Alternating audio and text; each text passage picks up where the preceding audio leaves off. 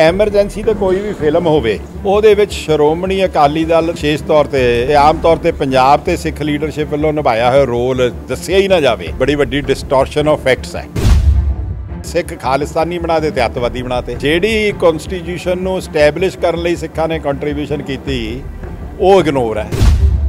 ਸੰਤ ਜਰਨੈਲ ਸਿੰਘ ਦੀ audio ਤੇ ਗੱਲਬਾਤ ਹੋ ਰਹੀ ਹੈ। ਕਿਸੇ ਪਾਸੇ ਦੂਸਰੇ ਪਾਸੇ ਕਾਂਗਰਸੀ ਲੀਡਰ ਪ੍ਰਜ਼ਿਊਮ ਕੀਤਾ ਗਿਆ। ਕਾਂਗਰਸੀ ਲੀਡਰ ਨੂੰ ਸੰਤ ਜਰਨੈਲ ਸਿੰਘ ਪੁੱਛਦੇ ਆ ਕਿ ਤੁਹਾਨੂੰ ਕੀ ਚਾਹੀਦਾ? ਉਹ ਕਹਿੰਦੇ ਵੋਟਾਂ। ਤੇ ਕਾਂਗਰਸੀ ਲੀਡਰ ਸੰਤਾਂ ਨੂੰ ਪੁੱਛਦਾ ਤੁਹਾਨੂੰ ਕੀ ਚਾਹੀਦਾ? ਉਹ ਕਹਿੰਦੇ ਸਾਨੂੰ ਖਾਲਿਸਤਾਨ। ਕੁਝ ਲੋਕਾਂ ਵੱਲੋਂ ਕਿ ਸੰਤ ਜਰਨੈਲ ਸਿੰਘ ਭਿੰਡਰਾਂਵਾਲ ਦੇ ਨਾਮ ਦੇ ਨਾਲ ਖਾਲਿਸਤਾਨ ਨੂੰ ਜੋੜਿਆ ਜਾਂਦਾ ਹੈ। ਦੱਸੋ ਕਿ ਕਦੇ ਉਹਨਾਂ ਨੇ ਖਾਲਿਸਤਾਨ ਦੀ ਮੰਗ ਕੀਤੀ ਸੀ? ਇੱਕ ਦੋ ਵਾਰੀ ਉਹਨਾਂ ਨੇ ਸਟੇਜ ਤੇ ਜ਼ਰੂਰ ਕਿਹਾ। ਉਹ ਕਹਿੰਦੇ ਤੁਸੀਂ ਖਾਲਿਸਤਾਨ ਮੰਗਦੇ ਹੋ। ਕਹਿੰਦੇ ਖਾਲਿਸਤਾਨ ਮੰਗਦੇ ਤੇ ਨਹੀਂ ਪਰ ਜੇ ਦੇ ਦੇਣਗੇ ਨਾ ਨਹੀਂ ਕਰਦੇ। ਕਨਸਟੀਟਿਊਸ਼ਨ ਨੂੰ ਅੱਜ ਬਚਾਉਣ ਦਾ ਰੌਲਾ ਰਾਹੁਲ ਵੀ ਪਾ ਰਿਹਾ ਹੈ, ਮੋਦੀ ਵੀ ਪਾ ਰਿਹਾ ਹੈ। ਪਰ ਜਿਨ੍ਹਾਂ ਨੇ ਬਚਾਈ, ਉਹਨਾਂ ਦਾ ਨਾਂ ਲੈਣ ਨੂੰ ਕੋਈ ਤਿਆਰ ਨਹੀਂ। ਇਹ ਤਾਂ ਸਾਰੇ ਉਦੋਂ ਲੁਕਦੇ ਫਿਰਦੇ ਸੀ। ਸਤਿ ਸ਼੍ਰੀ ਅਕਾਲ ਜੀ ਸਾਰਿਆਂ ਨੂੰ। ਤੁਸੀਂ ਲੁਧਿਆਣਾ ਟਾਈਮ ਦੇਖ ਰਹੇ ਹੋ। ਦੇਸ਼ ਦੇ ਅਦਾਕਾਰਾਂ, ਕਲਾਕਾਰਾਂ ਤੇ ਲੇਖਕਾਂ ਦਾ ਬੜਾ ਅਹਿਮ ਯੋਗਦਾਨ ਰਿਹਾ ਇਤਿਹਾਸ ਨੂੰ ਫਿਲਮਾਂਕਣ ਦੇ ਜ਼ਰੀਏ ਲੋਕਾਂ ਤੱਕ ਪਹੁੰਚਾਉਣ ਦੇ ਲਈ। ਪਰ ਜਦੋਂ ਇਤਿਹਾਸ ਦੇ ਨਾਲ ਕਈ ਵਾਰ ਮਿਥਿਹਾਸ ਦਾ ਰਲੇਵਾ ਹੁੰਦਾ ਤਾਂ ਵਿਵਾਦ ਹੋਣਾ ਵੀ ਸੁਭਾਵਿਕ ਹੈ। ਸੋ ਅੱਜ ਕੱਲ ਇੱਕ ਵਿਵਾਦ ਜਿਹੜਾ ਚਰਚਾ ਦਾ ਵਿਸ਼ਾ ਬਣਿਆ ਹੋਇਆ ਐਮਰਜੈਂਸੀ ਫਿਲਮ, ਜਿਸ ਵਿੱਚ ਕੰਗਨਾ ਰਣੌਤ ਬਤੌਰ ਇੰਦਰਾ ਗਾਂਧੀ ਆਪਣੀ ਭੂਮਿਕਾ ਨਿਭਾ ਰਹੇ ਨੇ ਔਰ ਸਿੱਖ ਜਗਤ ਦੇ ਵਿੱਚ ਰੋਸ ਜ਼ਾਹਰ ਕੀਤਾ ਜਾ ਰਿਹਾ ਕਿ ਇਸ ਫਿਲਮ ਦੇ ਵਿੱਚ ਸਿੱਖਾਂ ਦੀ ਕਿਰਦਾਰਕੁਸ਼ੀ ਕੀਤੀ ਜਾ ਰਹੀ ਹੈ ਔਰ ਸੰਤ ਜਰਨੈਲ ਸਿੰਘ ਜੀ ਭਿੰਡਰਾਂਵਾਲੇ, ਉਹਨਾਂ ਦੇ ਅਕਸ ਨੂੰ ਵਿਗਾੜਨ ਦੀ ਕੋਸ਼ਿਸ਼ ਕੀਤੀ ਜਾ ਰਹੀ ਹੈ। ਸੋ ਸ਼੍ਰੋਮਣੀ ਅਕਾਲੀ ਦਲ ਵੱਲੋਂ ਵੀ ਵਿਰੋਧ ਜਿਹੜਾ ਜ਼ਾਹਰ ਕੀਤਾ ਜਾ ਰਿਹਾ, ਅੱਜ ਸਾਡੇ ਨਾਲ ਮਹੇਸ਼ਿੰਦਰ ਸਿੰਘ ਗਰੇਵਾਲ ਮੌਜੂਦ ਨੇ, ਉਹਨਾਂ ਨਾਲ ਗੱਲਬਾਤ ਕਰਾਂਗੇ। ਗਰੇਵਾਲ ਸਾਹਿਬ, ਤੁਹਾਡਾ ਬਹੁਤ-ਬਹੁਤ ਸਵਾਗਤ ਹੈ। ਥੈਂਕ ਯੂ ਗਰੇਵਾਲ ਸਾਹਿਬ, ਜਿਹੜਾ ਇਹ ਵਿਵਾਦ ਸ਼ੁਰੂ ਹੋਇਆ ਕੰਗਣਾ ਦੀ ਫਿਲਮ ਨੂੰ ਲੈ ਕੇ, ਤੁਸੀਂ ਕਿਵੇਂ ਵੇਖਦੇ ਹੋ? ਦੇਖੋ, ਇਹਦਾ ਟ੍ਰੇਲਰ ਆਇਆ ਸਭ ਤੋਂ ਪਹਿਲਾਂ ਸ਼੍ਰੋਮਣੀ ਗੁਰਦੁਆਰਾ ਪ੍ਰਬੰਧਕ ਕਮੇਟੀ ਦੇ ਧਿਆਨ 'ਚ। ਉਹ 2 ਮਿੰਟ ਤੇ 48 ਸੈਕਿੰਡ ਦਾ ਹੈ। 2 ਮਿੰਟ ਤੇ 30 ਸੈਕਿੰਡ ਬਾਅਦ 18 ਸੈਕਿੰਡ ਦੀ ਉਹਦਾ ਟ੍ਰੇਲਰ ਦਾ ਪਾਰਟ ਆ ਜਿਹੜਾ ਉਹ ਸਿੱਖਾਂ ਦੇ ਨਾਲ ਤਲਕ ਰੱਖਦਾ ਹੈ। ਜਿਹਦੇ ਵਿੱਚ ਸਭ ਤੋਂ ਪਹਿਲਾਂ ਉਹਨਾਂ ਨੇ ਕੀ ਦਿਖਾਇਆ ਕਿ ਸੰਤ ਜਰਨੈਲ ਸਿੰਘ ਦੀ ਆਡੀਓ ਤੇ ਗੱਲਬਾਤ ਹੋ ਰਹੀ ਹੈ ਕਿਸੇ ਪਾਸੇ, ਦੂਸਰੇ ਪਾਸੇ ਕਾਂਗਰਸੀ ਲੀਡਰ ਪ੍ਰਜ਼ਿਊਮ ਕੀਤਾ ਗਿਆ। ਕਾਂਗਰਸੀ ਲੀਡਰ ਨੂੰ ਸੰਤ ਜਰਨੈਲ ਸਿੰਘ ਪੁੱਛਦੇ ਆ ਕਿ ਤੁਹਾਨੂੰ ਕੀ ਚਾਹੀਦਾ? ਉਹ ਕਹਿੰਦੇ ਵੋਟਾਂ। ਤੇ ਕਾਂਗਰਸੀ ਲੀਡਰ ਸੰਤਾਂ ਨੂੰ ਪੁੱਛਦਾ, ਤੁਹਾਨੂੰ ਕੀ ਚਾਹੀਦਾ? ਉਹ ਕਹਿੰਦੇ, ਸਾਨੂੰ ਖਾਲਿਸਤਾਨ।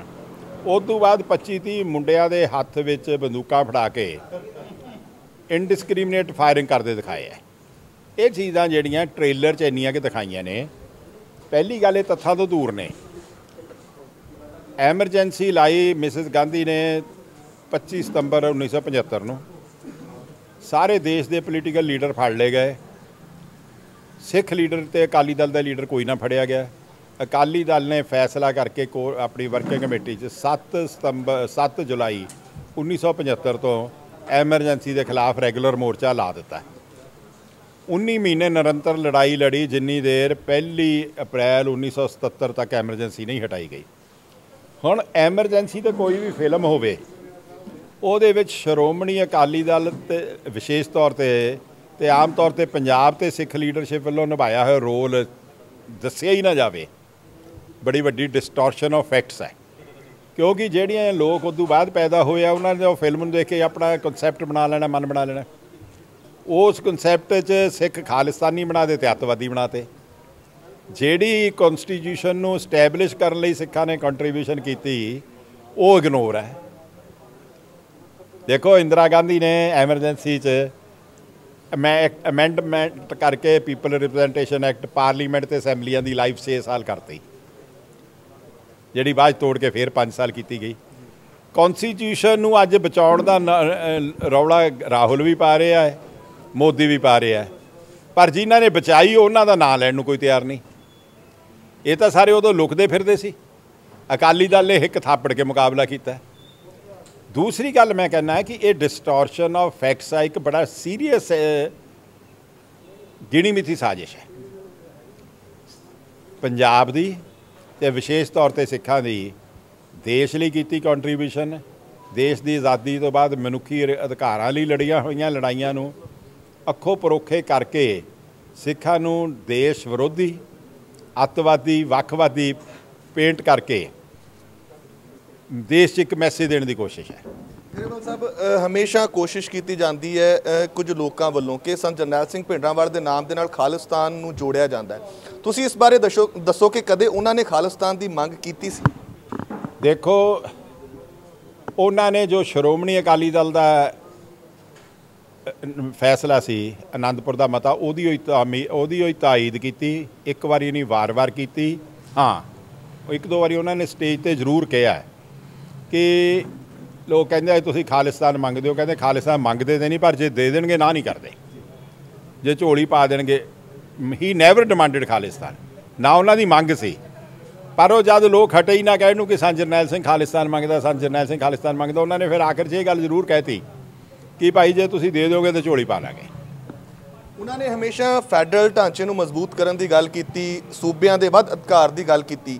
ਜਦੋਂ ਇਹਨਾਂ ਚੀਜ਼ਾਂ ਦੀ ਗੱਲ ਅੱਜ ਦੇ ਦੌਰ ਦੇ ਵਿੱਚ ਕੀਤੀ ਜਾਂਦੀ ਹੈ ਤਾਂ ਕਿਤੇ ਨਾ ਕਿਤੇ ਸਰਕਾਰਾਂ ਜਾਂ ਏਜੰਸੀਆਂ ਉਹਨਾਂ ਲੋਕਾਂ ਨੂੰ ਘੇਰ ਲੈਂਦੀਆਂ ਨੇ। ਤੁਸੀਂ ਕਿਵੇਂ ਵੇਖਦੇ ਹੋ ਕਿ ਸੱਚਾਈ ਨੂੰ ਝੁਠਲਾ ਕੇ ਇੱਕ ਮਿਥਿਹਾਸ ਜਿਹੜਾ ਲੋਕਾਂ ਦੇ ਸਾਹਮਣੇ ਲਿਆਉਣਾ ਇਸ ਦੇ ਪਿੱਛੇ ਕਿਸੇ ਪੋਲੀਟੀਕਲ ਪਾਰਟੀ ਦੀ ਸਾਜ਼ਿਸ਼ ਹੋ ਸਕਦੀ ਹੈ ਜਾਂ ਕੋਈ ਹੋਰ ਮੋਟਿਵ ਹੋ ਸਕਦਾ? ਦੇਖੋ ਸਾਡੇ ਆਨੰਦਪੁਰ ਸਾਹਿਬ ਦੇ ਮਤੇ ਨੂੰ ਜਦ ਪਹਿਲੀ ਵਾਰ ਗੱਲ ਉੱਠੀ ਹੈ, ਸਾਰੇ ਹਿੰਦੁਸਤਾਨ, ਸਣੇ ਸਾਡੇ ਆ ਭਾਈਵਾਲ, BJP, no party not a single exception ਉਹ ਸਾਰਿਆਂ ਨੇ ਕਿਹਾ ਕਿ ਇਹ ਵੱਖਵਾਦੀ ਹੈ ਖਾਲਿਸਤਾਨ ਦੀ ਨਹੀਂ ਹੈ।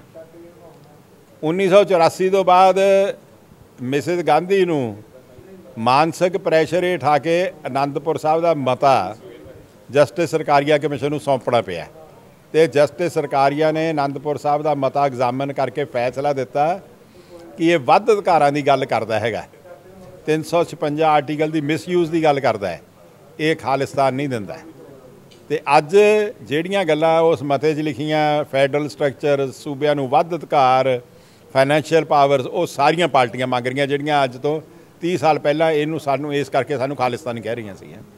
80s ਤੇ 90s ਦੇ ਦੌਰ ਦੀ ਗੱਲ ਕੀਤੀ ਜਾਵੇ, ਹੋਰ ਵੀ ਕਈ ਫਿਲਮਾਂ ਸਿੱਖਾਂ ਦੇ ਉੱਪਰ ਬਣੀਆਂ ਜੋ ਸਿੱਖ ਨਸਲ ਕੁਸ਼ੀ ਉਹਨਾਂ ਦਿਨਾਂ ਦੇ ਵਿੱਚ ਹੋਈ ਆ। ਪਰ ਸੈਂਸਰ ਬੋਰਡ ਉਹਨਾਂ ਨੂੰ ਰੋਕ ਦਿੰਦਾ ਔਰ ਜੇਕਰ ਕੋਈ ਕੰਗਨਾ ਵਰਗੀ ਅਦਾਕਾਰਾ ਫਿਲਮ ਬਣਾਉਂਦੀ ਹੈ ਤਾਂ ਉਸ ਨੂੰ ਰਿਲੀਜ਼ ਕਰਨ ਦੀ ਗੱਲ ਕੀਤੀ ਜਾਂਦੀ ਹੈ। ਸੈਂਸਰ ਬੋਰਡ ਦੇ ਰੋਲ ਨੂੰ ਤੁਸੀਂ ਕਿਵੇਂ ਵੇਖਦੇ ਹੋ? ਉਹਨਾਂ ਦੀ ਕੀ ਜ਼ਿੰਮੇਵਾਰੀ ਬਣਦੀ ਦੇਖੋ, censor board is not exception ਅੱਜ ਜਿਹੜਾ ਮਾਹੌਲ ਸਿਰਜਿਆ ਜਾ ਰਿਹਾ ਵਕਤ ਦੇ ਹਾਕਮਾਂ ਵੱਲੋਂ ਮਿਨੋਰਟੀ ਨੂੰ ਕ੍ਰਸ਼ ਕਰਨ ਵਾਲਾ ਨਿਭ- ਕਰ ਰਿਹਾ ਹੈ।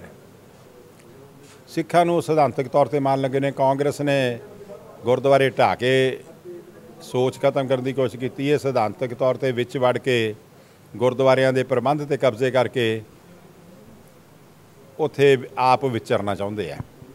ਅਫਸੋਸ ਇਸ ਗੱਲ ਦਾ ਹੈਗਾ ਕਿ ਜਿੰਨੀਆਂ ਵੱਡੀਆਂ ਕੰਟਰੀਬਿਊਸ਼ਨਸ ਗੁਰੂ ਸਾਹਿਬ ਦਾ ਓਟ ਆਸਰਾ ਲੈ ਕੇ ਸਿੱਖ ਕਮਿਊਨਿਟੀ ਨੇ ਦੇਸ਼ ਨੂੰ ਆਜ਼ਾਦ ਕਰਾਉਣ ਲਈ, ਦੇਸ਼ ਦੀ ਆਜ਼ਾਦੀ ਬਚਾਉਣ ਲਈ, ਦੇਸ਼ ਵਿੱਚ ਮਨੁੱਖੀ ਹੱਕਾਂ ਦੇ ਰਾਖੇ ਲਈ ਐਮਰਜੈਂਸੀ ਦੇ ਵਿਰੁੱਧ ਲੜਾਈ ਲਈ ਜਾਂ ਗੁਰਦੁਆਰਾ ਧਾਮ ਦੀ ਸੇਵਾ ਕਰਨ ਲਈ ਲੜਾਈਆਂ ਕੀਤੀਆਂ ਉਹਨਾਂ ਨੂੰ ਇਹਨਾਂ ਨੇ ਸਾਰਿਆਂ ਨੂੰ ਅੱਖੋਂ ਪੋਖੋ ਕਰਕੇ ਇਹਨੂੰ ਸਾਰੇ ਸਰਕਾਰੀ ਤੰਤਰ ਬਣਾਉਣ ਦੀ ਕੋਸ਼ਿਸ਼ ਕਰ ਰਿਹਾ ਜਿਹੜਾ ਇੱਕ ਬੜੀ ਦੁਖਦਾਈ ਘਟਨਾ ਹੈ। ਗਰੇਵਾਲ ਸਾਹਿਬ ਤੁਸੀਂ ਵਿਰੋਧ ਜ਼ਾਹਰ ਕਰਤਾ ਸ਼੍ਰੋਮਣੀ ਅਕਾਲੀ ਦਲ ਨੇ ਵਿਰੋਧ ਜ਼ਾਹਰ ਕਰਤਾ। ਹੁਣ ਕੀ ਕੋਈ ਕਾਨੂੰਨੀ ਲੜਾਈ ਵੀ ਲੜੀ ਜਾਏਗੀ ਕਿ ਇਸ ਫਿਲਮ ਦੀ ਰਿਲੀਜ਼ਿੰਗ ਜਿਹੜੀ ਹੈ ਉਹ ਰੋਕੀ ਜਾਵੇ? ਹਰ ਕੋਸ਼ਿਸ਼ ਕਰਾਂਗੇ ਪਰ ਮੈਂ ਉਹਦੇ ਲਈ ਫੈਸਲਾ ਇਕੱਲਾ ਨਹੀਂ ਲੈ ਸਕਦਾ। ਪਾਰਟੀ ਵਿੱਚ ਵਿਚਾਰੀ ਜਾਊਗੀ ਤੇ ਪਾਰਟੀ ਫੈਸਲਾ ਕਰੂਗੀ। ਸਮਾਂ ਦੇਣ ਲਈ ਬਹੁਤ ਬਹੁਤ ਸ਼ੁਕਰੀਆ। ਸੋ ਇਸ ਸਨ ਸਾਡੇ ਨਾਲ ਸ਼੍ਰੋਮਣੀ ਅਕਾਲੀ ਦਲ ਦੇ ਆਗੂ ਮਹੇਸ਼ਿੰਦਰ ਸਿੰਘ ਗਰੇਵਾਲ ਜਿਨ੍ਹਾਂ ਨੇ ਜਾਣਕਾਰੀ ਸਾਂਝੀ ਕੀਤੀ ਕਿ ਜੋ ਵਿਵਾਦ ਕੰਗਣਾ ਦੀ ਫਿਲਮ ਨੂੰ ਲੈ ਕੇ ਸ਼ੁਰੂ ਹੋਇਆ ਉਸ ਦੇ ਵਿੱਚ ਉਹਨਾਂ ਨੇ ਆਪਣਾ ਵਿਰੋਧ ਜ਼ਾਹਰ ਕੀਤਾ ਔਰ ਇਹ ਵੀ ਗੱਲ ਆਖੀ ਕਿ ਅਖੀਰ ਤੱਕ ਇਸ ਦਾ ਵਿਰੋਧ ਜ਼ਾਹਰ ਕੀਤਾ ਜਾਏਗਾ ਔਰ ਜਿਹੜੀ ਲੜਾਈ ਆ ਉਹ ਲੜੀ ਜਾਏਗੀ। ਕਿਉਂਕਿ ਸਿੱਖਾਂ ਦੇ ਅਕਸ ਨੂੰ ਵਿਗਾੜਨ ਦੀ ਕੋਸ਼ਿਸ਼ ਜਿਹੜੀ ਹੈ ਉਹ ਕੁਝ ਅ, ਬਾਲੀਵੁੱਡ ਦੇ ਕਲਾਕਾਰਾਂ ਵੱਲੋਂ ਕੀਤੀ ਗਈ ਹੈ। ਕੈਮਰਾਮੈਨ ਸਤਵੰਤ ਮਠਾੜੂ ਦੇ ਨਾਲ ਮੈਂ ਅਮਨ ਸਿੰਘ ਲੁਧਿਆਣਾ ਟਾਈਮ।